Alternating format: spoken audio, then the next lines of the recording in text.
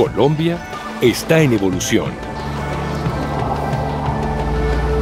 Hemos llegado hasta el Cesar, atraídos por la energía que producen los vallenateros con sus acordeones. Cultura, movimiento y pasión que se transforman en 145 vatios hora de energía, contagiando a todos de alegría.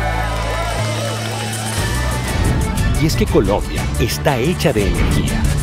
Eso, con el avance de las obras de la Central Hidroituango, más familias del territorio cuentan con nuevas oportunidades, empleo, viviendas dignas y proyectos productivos que mejoran su calidad de vida.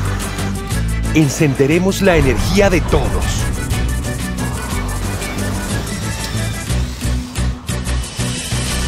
Con Hidroituango, Colombia en evolución. EPM.